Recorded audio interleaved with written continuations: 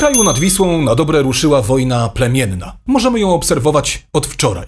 Jest to niesamowita komedia, która rozgrywa się właśnie teraz, przed i wewnątrz siedziby telewizji polskiej. Zdaje się to wszystko potwierdzać tezę, że na polskiej ziemi ulokowała się w jakiś przedziwny sposób największa grupa mało bystrych i średnio rozgarniętych ludzi, którzy uwielbiają zajmować się błahostkami. Bo nie dajcie sobie wmówić, że jest to sprawa wagi państwowej i narodowej. Dlaczego? Bo oni wszyscy są tacy sami.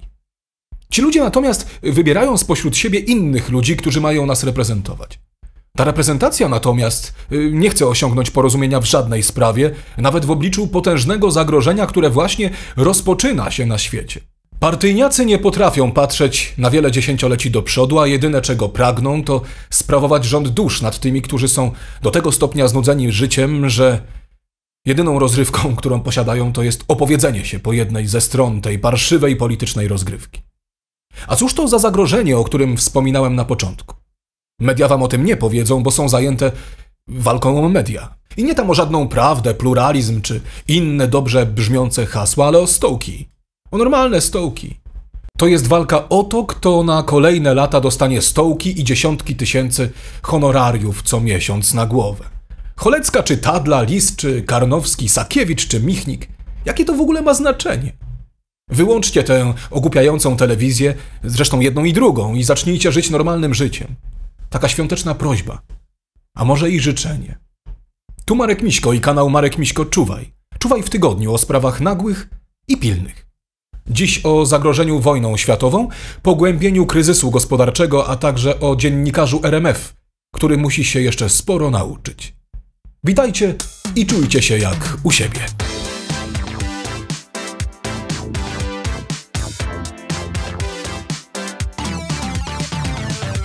Panie i panowie prezesi, melduje wykonanie zadania. Wzrost subskrypcji zgodnie z założeniami następuje systematycznie, no i do 50 tysięcy pozostało nam jeszcze niecałe 2 tysiące widzów. A do końca grudnia jeszcze dwa tygodnie. Nie muszę chyba przypominać, że to wszystko dzieje się dzięki Wam. Ja tutaj tylko gadam. Tak czy inaczej, jeżeli jesteście zainteresowani rozwojem naszego projektu, projektu Marek Miśko Czuwaj, to wejdźcie proszę w pierwszy komentarz i opis tego filmu. Stamtąd dowiecie się, jak można nas wspierać. To dzięki naszym mecenasom jestem w stanie znaleźć czas pomiędzy życiem zawodowym i rodzinnym, pomiędzy wszystkimi obowiązkami, a to z kolei przekłada się na powstawanie kolejnych cyklicznych audycji i rozwoju kanału w ten sposób, aby lada moment działał on tak jak konserwatywna wersja kanału sportowego, ale bez sportu. Dziś mocny program. Dużo będzie w nim konkretów, ale chyba też nie najlepszych informacji. To co? Zaczynamy?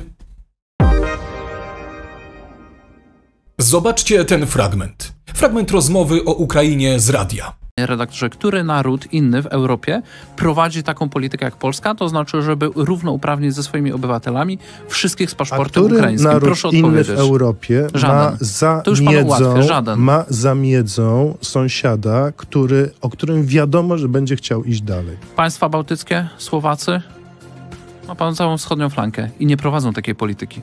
A nie uważa pan, że e, taka polityka to nie są przywileje, tylko po prostu to jest ważny gest w naszym głęboko Ale rząd wprost pojętym wprowadził interesie. różnego rodzaju przywileje i temu jesteśmy przeciwni. To są przywileje, nie chcecie przywilejów, chcecie, żeby ci ludzie mieli tu trudniej, żeby musieli tam wracać. Dobrze. Chcemy, żeby było Panie- normalnie, panie, redaktorze. To znaczy, Panie żeby pośle, Polak w ja Polsce był widzę- obywatelem, obywatel miał pewne inne prawa niż cudzoziemiec. Ja widzę, że trwa jakaś wojna na wschodzie, no coś może z niej będzie, ale w zasadzie to, to nie jest nasza wojna. Bardzo to dziękuję. ile pieniędzy rozdamy nie zdecyduje Bardzo przebiegu wojny. Zdecyduję, mówią to fachowcy, że te pieniądze są morderczo ważne, zwłaszcza w tym roku i te pakiety, które Amerykańskie, głosuje, amerykańskie i europejskie, również Europa, mnóstwo Stąpajmy pieniędzy. twardo po ziemi, nie udawajmy, że Proszę tutaj pana, od nas to wszystko e, zależy. pan to powie, jak pan zobaczy na Wiśle rosyjskiego żołnierza Ale i pan będzie problemu, uciekał i proszę pan będzie wierzyć. Uciekał ze swoją rodziną. Proszę pana, i pan będzie uciekał ze swoją rodziną na Ale zachód. proszę naprawdę, nie Bardzo- taką retorykę, bo to bardzo- jest tania moralistyka, Proszę manipulacja pana, emocjonalna. powinniśmy wchodzić w taką retorykę, bo naprawdę Biden Nie, że nie to nam, powinniśmy. że, Powinniśmy że zachować to nam, zdrowy rozsądek i nam chłodny osąd wydarzeń. Pan zachowa a nie zdrowy ulegać rozsądek propagandzie polityków i, i pan tu zobaczy Putina. Bardzo dziękuję. Naszym gościem był Krzysztof Bosak, wicemarszałek Sejmu z Konfederacji. Dziennikarz radia RMF FM, prowadzący rozmowę z marszałkiem Bosakiem, wyszedł na kretyna. czego potwierdzenie można znaleźć w 90% przypadków komentarzy internautów, no ale najwyraźniej redaktor czuje się z tym znakomicie. I dobrze, dobrze, ja osobiście lubię, kiedy ludzie są zadowoleni, nawet jeżeli powodem tego szczęścia jest ich własna głupota. O warsztatowej indolencji pana redaktora, punkt po punkcie, przygotuję osobny program, ale nie sposób się jest teraz nie odnieść do głoszonych przez niego poglądów. To są poglądy, w moim najgłębszym przekonaniu, co tu dużo mówić, naiwne. Tak, naiwne to będzie dobre słowo, ale również bardzo szkodliwe. Niedouczony człowiek nie jest w stanie zrozumieć, że gra o Ukrainę jest jednym z wielu elementów koncertu mocarstw. No i w kontekście całościowym aktywność Polski nie ma tutaj żadnego znaczenia. Chodzi o blisko wschodni kocioł, w którym wrze coraz bardziej i nie jest to kwestia Palestyny czy Izraela, ale zablokowania szlaku żeglugowego w cieśninie Bab el-Mandeb, prowadzącej do Suezu, no i rosnącego napięcia pomiędzy Waszyngtonem a Teheranem. Wszystko wskazuje na to, że Stany Zjednoczone odpuściły temat Europy Wschodniej, chcąc mieć wolną głowę, siły i środki dla operowania w zbliżającym się konflikcie czerwonomorskim, czy też, jak to określił ostatnio The Economist, nowym kryzysie sueskim. No i oto, oto, moi drodzy, powinniśmy się martwić najbardziej. To nie walka o polski interes narodowy jest odpowiedzialna za upadek Ukrainy, jak sugerował wczoraj na wielkiej konferencji y, podsumowującej wojnę prezydent Żałęski, ale zmiana wektorów polityki światowej, co dziś postaram się udowodnić, a nie bajdurzyć jak ten nieszczęsny redaktor w rozmowie z marszałkiem Bosakiem. Polska a Ukraina. Żałęski podczas dorocznej konferencji podsumowującej wojnę skomentował m.in. kwestię tranzytu ukraińskiego zboża. Powiedział to na oczach opinii publicznej całego świata, w towarzystwie dziennikarzy z całego świata. Tą wypowiedzią w mojej ocenie obraził Polaków, obraził prezydenta Polski i najzwyczajniej w świecie skłamał. Zobaczcie. Powinniśmy być uczciwymi ludźmi. Duda podkreślił, że Ukraińcy kosztem życia chronią Polskę. Wierzę, że jesteśmy braćmi. Miałem silne powiązania z polskim rządem. Blokada granic nie jest zajęciem na czas wojny. To jest cierpienie. Straciliśmy plony i pieniądze. Jestem wdzięczny Polsce, ale w czasie wojny bronię interesów mojego kraju. Nie pozwolono nam wywieźć zboża. Taka była polityka polskich urzędników państwowych, którzy przegrali. Prezydent Ukrainy przedstawił to tak, jakby Polska doprowadziła do katastrofy gospodarczej na Ukrainie. Tymczasem chodzi o niewielkie ilości zbóż, co zaraz udowodnię za pomocą danych z Rady Europy i Najwyższej Izby Kontroli. Prezydent Ukrainy kłamie. Prezydent Ukrainy kłamie, zresztą nie po raz pierwszy. Za chwilę to udowodnię i przedstawię na liczbach. A wiecie dlaczego? Wiecie dlaczego on kłamie? Bo w roku 2023 Ukraina wyeksportowała znakomitą większość swoich zbóż i produktów rolno-spożywczych. Zobaczcie, co powiedział prezydent dalej. Nie mieliśmy korytarza, żeby wysłać zboże. Mamy konflikt na szczeblu przywódców. Straciliśmy setki milionów dolarów. Straciliśmy plony w wyniku blokady Polski. Nie jestem jakimś mięczakiem. Bronię interesów kraju, ale Polacy nie pozwolili nam wywieźć zboża. To był sygnał polityczny. Oto mały, nikczemny kłamczuszek. Ukraina od zawsze, jeszcze przed wojną, swoje zboże wysyłała głównie przez rumuński port w Konstancy nad Morzem Czarnym. Tylko w pierwszych ośmiu miesiącach bieżącego roku udało im się przerzucić tamtą drogą 9 milionów 200 tysięcy ton zbóż. Teraz się skupmy i posłuchajmy. Posłuchajmy tych danych z Najwyższej Izby Kontroli. Po zawarciu w 2014 roku przez Unię Europejską układu stowarzyszeniowego z Ukrainą zniesione zostały częściowo cła na pszenicę, rzepak, słonecznik i kukurydzę. Po agresji Rosji na Ukrainę Parlament Europejski i Rada Unii Europejskiej dokonały w maju tego roku kolejnej liberalizacji handlu z Ukrainą, zniesiono kontyngenty ilościowe i VAT na te produkty. Od tego momentu zboża określone w układzie nie obowiązywały już żadne limity. Działania wojenne Rosji spowodowały blokadę portów Morza Czarnego i de facto przez kilka miesięcy całkowitą blokadę eksportu zboża z Ukrainy. W ramach zawartego porozumienia zbożowego Ukraina w latach 2022-2023 wyeksportowała ponad 3 miliony ton zbóż. Porozumienie to jednak zostało zerwane przez Rosję. Eksport ukraińskiego zboża w sezonie 2022-2023 wyniósł blisko 49 milionów ton i był na podobnym poziomie co w poprzednim sezonie. W okresie od marca 2022 do marca 2023 Ukraina wyeksportowała 10 milionów ton do pięciu krajów przyfrontowych Polski, Słowacji, Węgier, Rumunii i Bułgarii. Do Polski wjechało ponad 4 miliony ton zboża i nasion roślin oleistych. Z tego tranzytem objęto 700 tysięcy ton, a 3 miliony 400 tysięcy ton zostało w kraju. Z danych tych wynika, że Ukraina sprzedaje swoje zboże tak, jak sprzedawała, jakby nie było tam wojny. Ale szuka teraz kozła ofiarnego. A nielojalność prezydenta z Kijowa jest wręcz porażająca. Oto dane ze strony Rady Europejskiej dotyczące tego roku. Co wyeksportowano dzięki czarnomorskiej inicjatywie zbożowej? Według stanu na lipiec 2023 dzięki czarnomorskiej inicjatywie zbożowej wyeksportowanych zostało niemal 33 miliony ton zboża i innych produktów spożywczych. Czyli z ogółu eksportu w 2023 roku, który wyniósł 48 milionów ton, tylko za pomocą inicjatywy czarnomorskiej z kraju, z Ukrainy, wyjechało 33 miliony ton, plus 9 milionów ton z portu w rumuńskiej Konstancy i mamy kwotę 42 milionów ton. Ukraińcy więc wyeksportowali w roku 2023 znakomitą większość swoich zbóż i produktów rolno-spożywczych i pomimo wojny eksport w tym zakresie jest wręcz zaskakujący. Skąd więc słowa ukraińskiego prezydenta, które brzmią, jakby Polska doprowadziła do ruiny gospodarkę ukraińską podczas wojny z Rosją? No ale cóż, ludzie kochani, nie wymagajcie też zrozumienia w tej materii, szukania, dopytywania, odnajdywania faktów przez redaktora z RMF-u, który będzie przyświecał nam w naszej audycji swoim duchem. On dalej pewnie uważa, że to Konfederacja, Bosak, PiS y, i Polska w ogóle odpowiadają za ukraińskie problemy. Dalej pewnie uważa, że wojny wygrywa się gestami, gestami solidarności, jakimiś pobożnymi życzeniami. I najgorsze chyba w tym wszystkim jest to, że taki człowiek z tak nikłym rozumieniem świata dostaje mikrofon, aby mówić do setek tysięcy ludzi. Czyż nie jest to porażające? No dobrze, pośmialiśmy się, podworowaliśmy, ale teraz na poważnie, bo kwestia ukraińska, również ważna dla Polski, jest w dramatycznej sytuacji z zupełnie innego powodu. Wektory polityki międzynarodowej. Prezydent Ukrainy wygłosił na swojej konferencji również taką oto tezę. Wojna na Bliskim Wschodzie, jak każda tragedia, za którą stoi obecność, albo taki czy inny wpływ Federacji Rosyjskiej, ma wpływ na sytuację Ukrainy. Odwrócenie uwagi od tematu Ukrainy za granicą jest kompleksem działań, który bardzo źle wpływa na stabilność Ukrainy i udzielanie pomocy. Rosja osiągnęła tutaj sukces.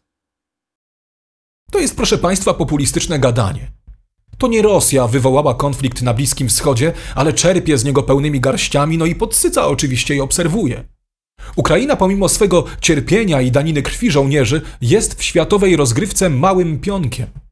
Kocioł bliskowschodni to jest działanie antyamerykańskie, mające zburzyć hegemonię Stanów Zjednoczonych na świecie, a nie odwrócić oczy świata od Ukrainy. Żałęski spuentował też swoją wypowiedź w następujący sposób. Rosjanie nie osiągnęli sukcesu na polu boju, ale mają sukces właśnie tutaj. Państwa zaczęły zastanawiać się, komu pomóc w pierwszej kolejności Ukrainie czy Izraelowi. To z całą pewnością źle wpływa na sytuację Ukrainy. Rozpoczęło się starcie mocarstw o dostęp do Światowego Oceanu. I nie ma to nic wspólnego z żyznymi ziemiami nad Dnieprem. Ukraina jest tutaj niewielką pieczenią na tym ogniu. Posłuchajcie, co pisze The Economist. Tysiąc mil od gazy rozwija się kryzys morski, który może przekształcić wojnę między Izraelem a Hamasem w sprawę globalną mającą konsekwencje dla światowej gospodarki. Od 15 grudnia cztery z pięciu największych na świecie firm zajmujących się transportem kontenerowym wstrzymało lub zawiesiło świadczenie usług na Morzu Czerwonym, czyli trasie, przez którą musi przechodzić ruch z kanału Sueskiego, w związku z eskalacją ataków wspieranych przez Iran bojowników Houthi, wyposażonych w wyrafinowaną broń. Gdy jedna z głównych arterii handlowych świata zostaje nagle zamknięta, Ameryka i jej sojusznicy wzmagają działalność morską na Bliskim Wschodzie i mogą nawet zaatakować Houthi w celu przywrócenia swobodnego przejazdu. O co chodzi w wielkim skrócie? Opowiem to tak jak potrafię, z grubsza, bo ekspertem wybitnym w tej sprawie nie jestem.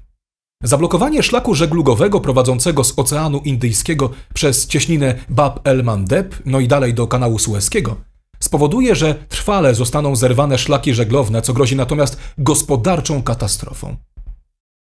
Na to z kolei nie chcą pozwolić Amerykanie, więc ruszyli w tamtą stronę. Zaraz dowiecie się dlaczego. USA nie ma siły, aby móc prowadzić jednocześnie tak wiele działań na całym świecie. Są więc rzeczy ważne i ważniejsze dla Waszyngtonu. Oby udało się wytrwać w pokoju do czasu, aż wybory wygra Trump, który na szczęście prowadzi w prezydenckich sondażach. Jego aspiracje do prowadzenia wojen nie są wcale tak największe, jakby się wydawało, a na pewno nie takie, jak wynika to z dyplomacji Bidena. Zobaczcie. Oto przygotowana przeze mnie mapa tej części świata, świata, o którym mówimy. Niebieski migający punkt to cieśnina Bab el-Mandeb, położona pomiędzy Djibouti, Jemenem i Erytreą. Czerwone strzałki z grubsza oznaczają e, szlak, który był wykorzystywany i o kilka tygodni skracał czas transportu morskiego. Czarne strzałki to stary szlak. Prowadzi on przez róg Afryki i przylądek dobrej nadziei, zresztą bardzo niebezpieczne miejsce do żeglowania. No i oto idzie gra. Oto o czym strategzy mówili od początku: o przepływy i transfery towarów, czyli o pieniądze, inaczej mówiąc o gospodarkę, no i w konsekwencji nasze bezpieczeństwo. Oto z kolei inna mapa ukazująca realny ruch morski na tym obszarze świata. Żółte kropki wskazują statki unikające Morza Czerwonego. Zagrożenie ze strony Jemenu wpływa obecnie na prawie 25% wszystkich kontenerowców wysyłanych w świat. Eksperci morscy twierdzą, że Stany Zjednoczone staną za chwilę w obliczu, uwaga, opóźnień w dostawach paliwa do silników odrzutowych. To również porusza amerykańska prasa. I to jest klucz całej sprawy – a nie maglowanie Bosaka ze swojej dziennikarskiej ignorancji. To, że Ukraina zostanie zaraz pozbawiona wsparcia, nie wynika z działalności Konfederacji, Grzegorza Brauna czy kilkunastoosobowego klubu w polskim parlamencie, ale z tego, że jesteśmy na skraju wojny światowej, która wybuchnie o dominację na globalnym oceanie i o przepływy towarów. To jest oczywiście powód zmiany wektorów. Konflikt Rosji z Ukrainą przestaje być na rękę Zachodowi, ponieważ kosztuje ogrom pieniędzy i wysiłku. I nie chodzi tutaj wyłącznie o wspieranie Ukrainy przelewami, które, jak się później okazało, zresztą bardzo często były rozkradane na szczeblu polityczno-urzędniczym, bo korupcja tam wcale nie została zlikwidowana. Ale o zaangażowanie sił wojskowych, służb, wywiadu i kontrwywiadu. Nie bez znaczenia są też straty wywołane kryzysem energetycznym, spowodowane rzecz jasna wstrzymaniem zakupu paliw kopalnych z Rosji. Powrotem do stanu sprzed wojny najbardziej zainteresowani byliby Niemcy, którzy postawieni pod ścianą wyprowadzają swoje kolejne fabryki do Chin, gdzie bez utraty politycznej reputacji mogą wykorzystywać do woli, do swojej produkcji oczywiście, rosyjski gaz, no ale znacznie większym kosztem. Zrobiłem o tym cały program. Stany wycofują się z finansowego wspierania konfliktu na Ukrainie, ponieważ trwa on zbyt długo. O ile Zachód postawiony pod ścianą, no ale też niesiony jakimś tam y, sukcesem z pierwszych miesięcy stawiania oporu, wsparcia udzielał, to dziś Ukraina i to, co się z nią dalej stanie, jest dla Waszyngtonu kwestią drugorzędną. Co planują Stany Zjednoczone? No oczywiście tego nie wiem, ale obawiam się, nawet się boję, że utrzymanie granicy wpływów nie na Bugu, ale na Nysie i Odrze. Amerykanie od kilku tygodni przekierowują swoje siły i środki na Ocean Światowy. W zagrożony rejon wysyłają kolejne lotniskowce. Ostatni wyruszył kilka dni temu z Singapuru. Świat przestaje interesować Ukraina, na nasze nieszczęście oczywiście, bo swój wzrok mocarstwa zaczynają kierować dziś na Bliski Wschód. Powtórzę raz jeszcze. Ten Bliski Wschód, który za chwilę może się stać areną potężnej wojny. Kto wie, czy nie przyczynkiem do globalnego konfliktu. Dziennikarz RMF-u, który przewija się przez nasz program od czasu do czasu, tego nie rozumie, bo on nie jest w stanie tego zrozumieć. Kieruje więc swój przekaz do widzów i słuchaczy, którzy podobnie jak on dotykają w tej materii szklanego sufitu. Kręci się na naszym pospolitym podwórku, ganiając jakieś płotki, a od nas przecież nic nie zależy. To wszystko od początku dzieje się i do końca będzie się działo poza nami. Polska w tej rozgrywce nie znaczy kompletnie nic. Jest zwykłym buforem. I na pewno nikt nie będzie za nią ginął. Dziennikarzowi prowadzącemu rozmowę z marszałkiem Bosakiem należą się jednak brawa, tak uważam, bo nie udaje on, że ma pojęcie o czym mówi. Po prostu pokazuje, że jest zielony jak agrest. I tyle. Krzysztof Bosak zadaje pytanie. Posłuchajcie raz jeszcze. Redaktorze, który naród inny w Europie prowadzi taką politykę jak Polska, to znaczy, żeby równouprawnić ze swoimi obywatelami wszystkich z A paszportem który ukraińskim. naród Proszę inny w odpowiedzieć. Europie ma za To już miedzą, żaden. ma za miedzą sąsiada, który, o którym wiadomo, że będzie chciał iść dalej? Państwa bałtyckie, Słowacy, Który naród poza Polską prowadzi politykę, która miałaby polegać na tym, aby równouprawniać w statucie obywatelskim każdego, kto posiada ukraiński paszport? Pyta marszałek Bosak. Odpowiedź dziennikarza. A który naród ma jeszcze tak jak my za plecami Putina, który jak wiadomo będzie chciał iść dalej? I pójdzie dalej, panie redaktorze, jeżeli nasze państwo będzie słabe politycznie, dyplomatycznie i militarnie. A w narodzie będzie następowała partyjna, plemienna atrofia, która sprawia, że przestajemy być jednością.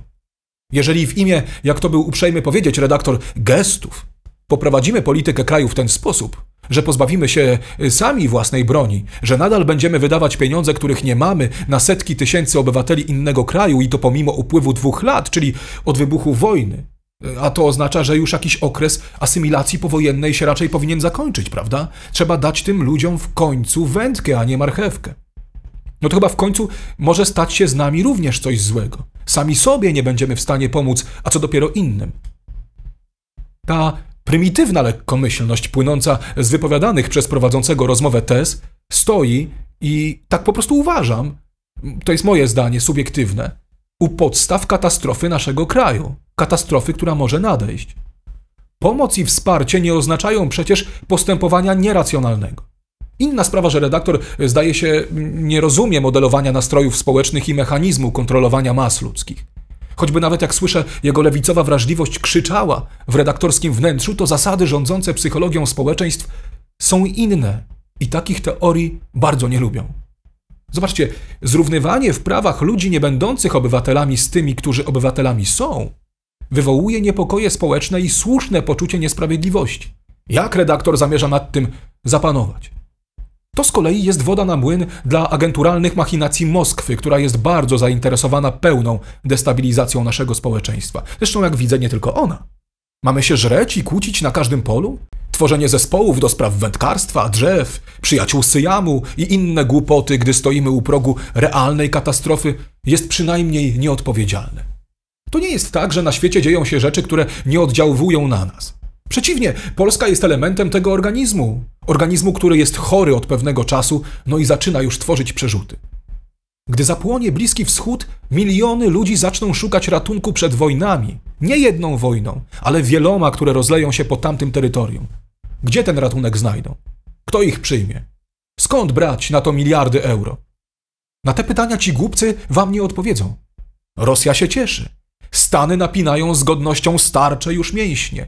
Chiny czekają, Japonia jak zwykle ostrożna, Australia przezorna, Niemcy cwane, Francja wyrachowana, Wielka Brytania cyniczna do szpiku kości, Turcja wyluzowana, Ukraina płacząca, Włochy stracone, a Polska rozbita.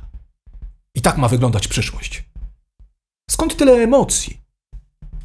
Bo to moje i wasze dzieci będą ginęły w nie naszych wojnach. A my zamiast działać pragmatycznie, realizować nasze, a nie obce cele, musimy wysłuchiwać dziennikarzy kretynów i słuchać relacji z pierwszej bitwy o TVP. Rzecz kompletnie trzecio- i czwartorzędną. Co za różnica, kto zasiądzie w tamtym fotelu? Czy był Jacek Kurski z PiS? Czy przyjdzie jego brat, też Kurski, z Gazety Wyborczej? Przecież to jest jedna banda. Mam mówić dalej? Jak zmieni się wasze życie po tym, kto obejmie władzę w mediach publicznych? Czy przybędzie wam więcej pieniędzy w portfelu? Oni próbują w was to wszystko wmówić i zmanipulować ten przekaz, że to jest sprawa istotna. Nie jest. Jakby telewizja polska przestała jutro nadawać, czy też TVN, w ogóle byście tego nie zauważyli. Nie zauważyłoby tego 90% społeczeństwa. Ale po pewnym czasie bylibyśmy wszyscy zdrowsi. Są przywileje, nie chcecie przywilejów, chcecie, żeby ci ludzie mieli tu trudniej, żeby musieli tam wracać. Dobrze. Chcemy, żeby było Panie- normalnie, panie, redaktorze. To znaczy, Panie żeby pośle, Polak w Polsce ja był widzę- obywatelem, obywatel miał pewne inne prawa niż cudzoziemiec. Ja widzę, że trwa jakaś wojna na wschodzie, no coś może z niej będzie, ale w zasadzie to, to nie jest nasza wojna. Nie chcecie, żeby ci ludzie mieli tutaj łatwiej. Chcecie, żeby mieli trudniej, żeby musieli tam wracać. Powiedział pan redaktor, dryfujący w swych odrealnionych rozważaniach. No to może, panie redaktorze, inaczej, co?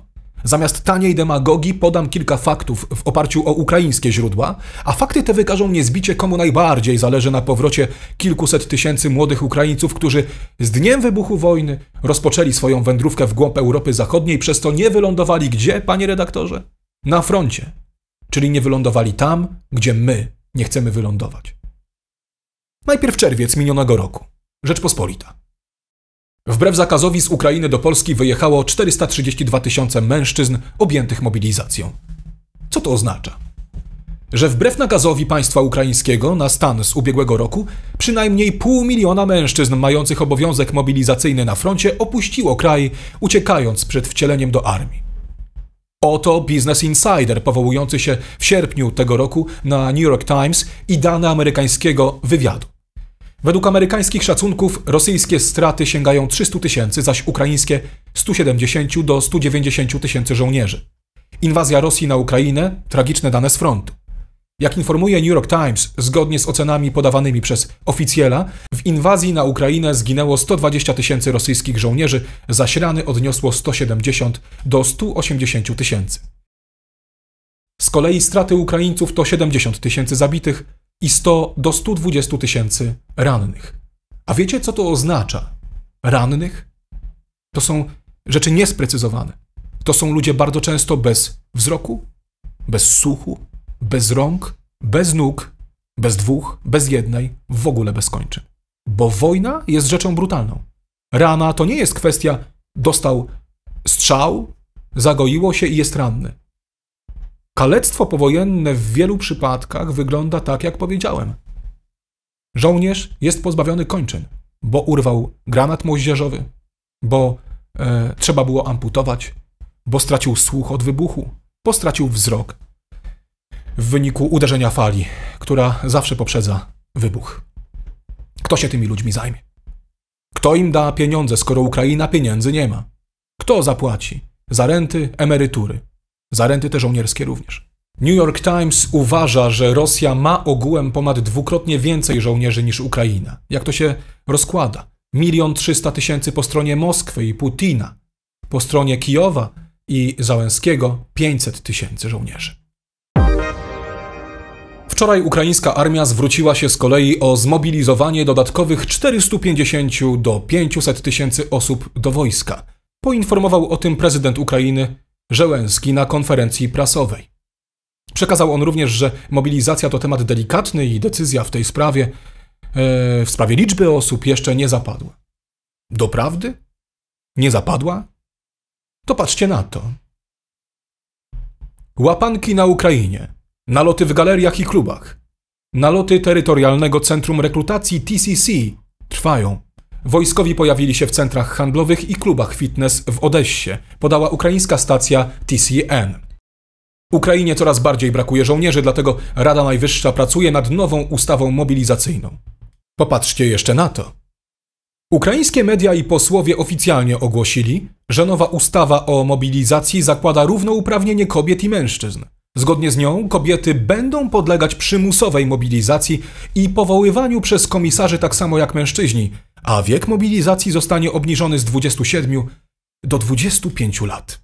Ważną informacją jest też to, że prawo do odroczenia od mobilizacji stracą pracownicy policji, służb bezpieczeństwa gospodarczego, no i służby więzienne. Osoby uprawnione do odroczenia lub zwolnienia ze służby to m.in. niepełnosprawne, rodzice trójki lub więcej dzieci, rodzice dzieci niepełnosprawnych, kobiety w ciąży i kobiety na urlopie macierzyńskim oraz obecni posłowie, Poborowi będą zobowiązani do dostarczenia pracodawcy danych o miejscu zamieszkania, poddania się badaniom w celu mobilizacji oraz stawienia się w komisji wojskowej w celu potwierdzenia danych.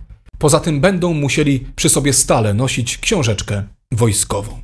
Tymczasem to Polska jest winna, że nie ma tam poborowych, prawda? Że młodzi ludzie nie czują związku ze swoją ojczyzną. Tak uważa pan redaktor z RMF, jak rozumiem. Szkoda mi tych chłopaków, bo wiem, że i ja tak skończę, jak oni. Broń Boże, aby skończyli tak moi synowie. Ale dziś martwię się tylko o nas, a nie jak redaktorstwo, wielce oświecone, o innych. O nas, o ludzi mi najbliższych, o Polaków.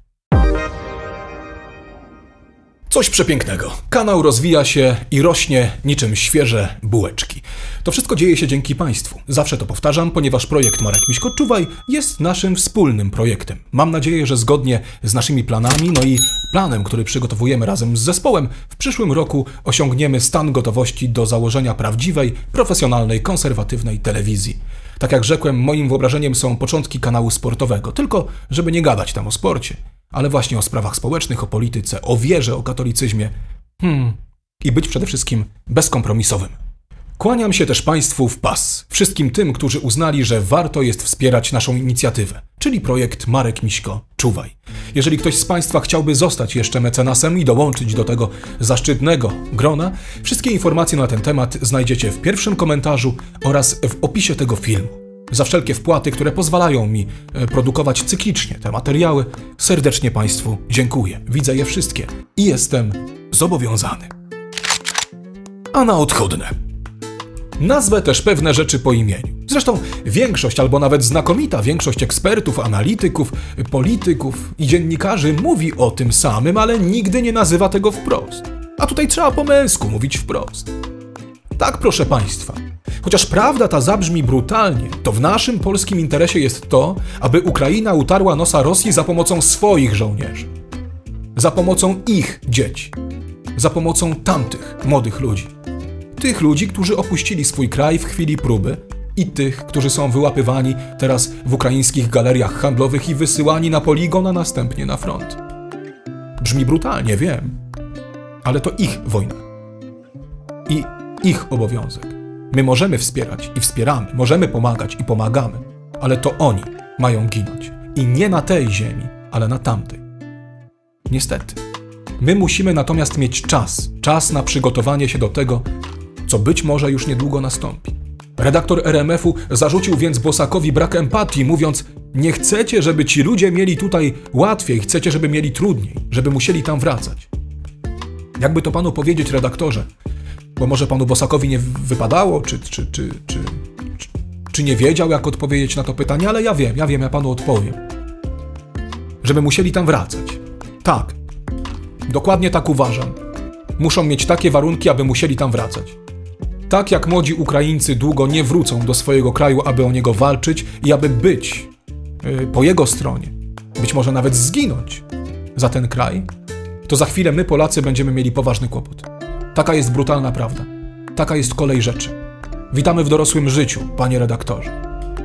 Natomiast jeżeli, tak jak chciałby pan dziennikarz, Ukraina miałaby nawet jakieś miliardy dolarów, nawet jeżeli będzie szła w kierunku frontu niekończąca się kolumna sprzętu wojskowego i amunicji z całego świata, to wojny nie da się wygrać bez żołnierzy, chociaż przez lata wmawiano nam, że współczesna wojna to będzie wojna elektroniczna. I nagle się okazuje, że każda wojna, aby mogła się odbywać, aby można było wygrać taką wojnę, potrzebuje żywej siły rażenia. Natomiast, co już udowodniłem, tak fatalnie się składa, że żołnierzy na Ukrainie zaczęło brakować. I to już kilka miesięcy temu. Więc ten sprzęt nie będzie miał być przez kogo obsługiwany. Więc pan redaktor się myli. Tam jest potrzeba ludzi. Tu Marek Miśko i kanał Marek Miśko Czuwaj. Dziękuję za wasz poświęcony czas. Jest on dla mnie najcenniejszy.